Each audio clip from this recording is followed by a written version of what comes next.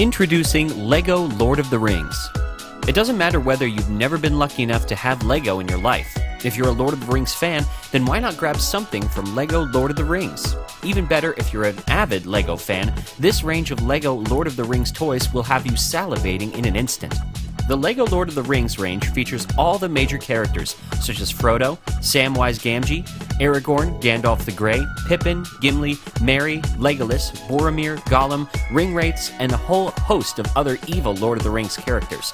This isn't to mention the expansive range of structures that feature in the books and films, such as Mines of Moria, Towers, Helm's Deep, and Orc Forge. Are the LEGO Lord of the Rings products worth the money? I will go as far to say that all LEGO products are worth the money, let alone just the LEGO Lord of the Rings ones. Definitely a thumbs up from me.